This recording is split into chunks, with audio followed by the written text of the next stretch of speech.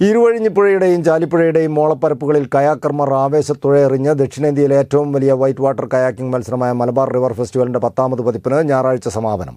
ഈ വർഷത്തെ rapid രാജയെയും rapid റാണിയെയും ഞായറാഴ്ച അറിയാം. സമാപന സമ്മേളനത്തിൽ രണ്ട് മന്ത്രിമാരും പങ്കെടുക്കും. ജനപങ്കാളിത്തം കൊണ്ടും സംഘാടക മികവ് കൊണ്ടും വൻ വിജയമായ ദക്ഷിണേന്ത്യയിലെ ഏറ്റവും വലിയ വൈറ്റ് വാട്ടർ കയാക്കിംഗ് മത്സരമായ മലബാർ റിവർ ഫെസ്റ്റിവലിന്റെ പത്താമത് പതിപ്പിന് ഞായറാഴ്ചയാണ് സമാപനമാവുക.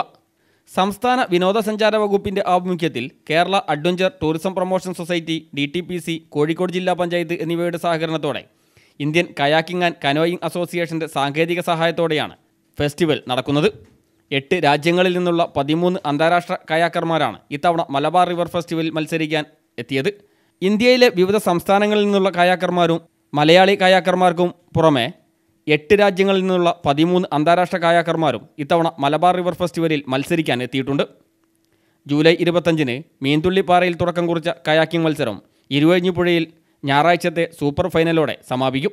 ഞായറാഴ്ച നടക്കുന്ന സൂപ്പർ ഫൈനലിൽ ഏറ്റവും കടുപ്പമേറിയതും ദൈർഘ്യമേറിയതുമായ ഡൗൺ റിവൽ മത്സരത്തിൽ മികച്ച പെർഫോമറെ കാത്തിരിക്കുന്നത് റാപ്പിഡ് രാജ റാപ്പിഡ് റാണി പട്ടവും ക്യാഷ് പ്രൈസുമാണ്.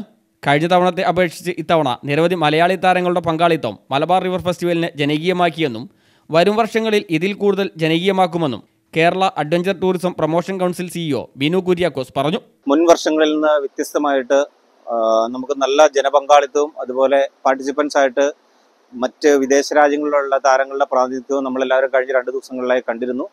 ഇന്നലെ കഴിഞ്ഞിട്ടുള്ള പ്രൊഫഷണൽസിന്റെ മത്സരങ്ങളിൽ പ്രധാനപ്പെട്ട എല്ലാ സ്ഥാനങ്ങളും നേടിയത് വിദേശ താരങ്ങളായിരുന്നു.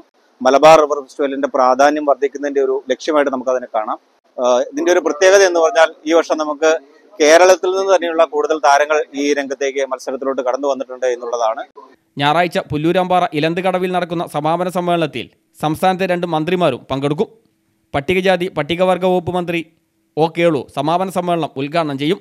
സംസ്ഥാന ടൂറിസം വകുപ്പ് മന്ത്രി മുഹമ്മദ് റിയാസ് വിജയികൾക്കുള്ള സമ്മാനങ്ങളും വിതരണം ചെയ്യും. ക്യാമറമാൻ റഫീഖ് തോട്ടുമുഖത്തിനൊപ്പം സി ഫസൽ ബാബു സി പ്രാദേശിക വാർത്ത.